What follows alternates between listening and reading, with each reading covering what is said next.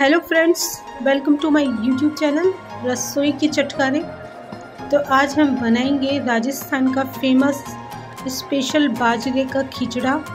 तो उसके लिए मैंने भिगो दिए हैं थोड़े से चौले पानी में डाल देने हैं बस। मैंने लिया है इस तरह का बाजरा जो कि आपके आसपास की किसी भी चक्की की दुकान पे जहाँ आटा पिसा जाता है, उस पे आपको मिल जाएगा।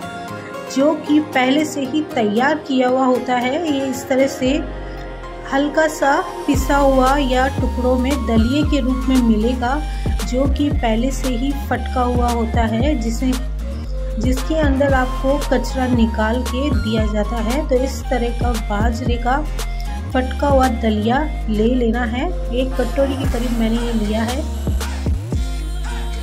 बस तो फिर क्या इस तरह से बिना मेहनत किए ज़्यादा इसमें टाइम वेस्ट किए हम बहुत ही स्पेशल वाला खिचड़ा तैयार कर लेंगे। तो इसके लिए इस दलिए को मतलब कि बाजरे के टुकड़े टुकड़े जो किए हुए हैं इस बाजरे को हमें इस, तरह तीन से चार बार पानी से निकाल लेना है। इसके ऊपर जो बचा कुचा हुआ जो बाजरे की छिलके होंगे वो इस तरह से निकल जाएँगे। तो हमें इस तरह से इसे धो लेना है।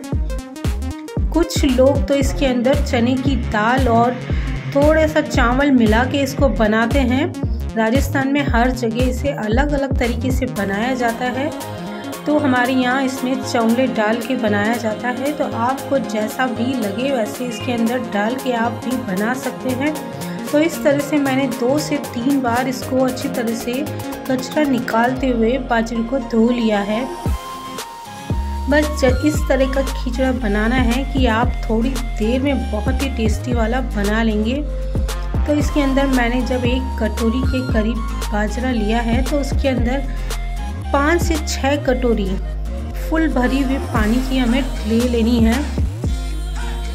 इस तरह से पानी पूरा लेने के बाद इसके अंदर हम डालेंगे चावले जो भिगो के रखे हैं। इन्हें पानी से एक दो बार निकाल के इसके अंदर डाल देने हैं। अब इसके अंदर डाल देना है धुला हुआ बाजरा। इसको भी इसके अंदर डाल देना है।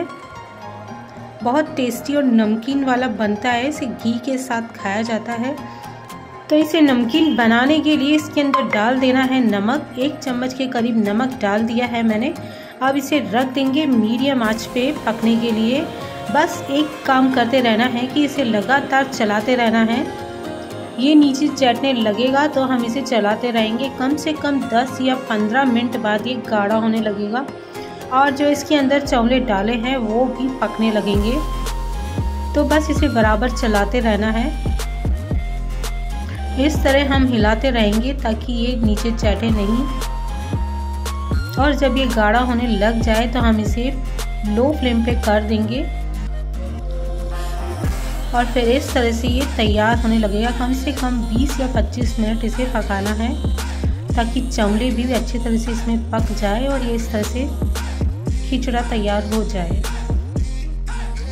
तो हमारा तैयार हो चुका है ये। इसे गरम गरम ही खाया जाता है। इसके अंदर घी मिलाया जाता है और अगर ये ठंडा हो जाए तो इसे छाछ या दही के साथ में खाया जाता है।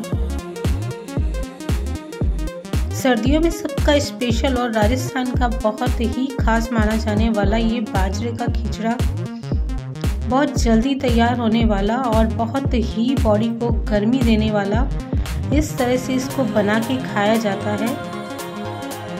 इस तरह के खिचड़े को बनाएँ और एक बार ज़रूर खाएँ और सर्दियों में इसका लुत्फ उठाएँ। Thanks for watching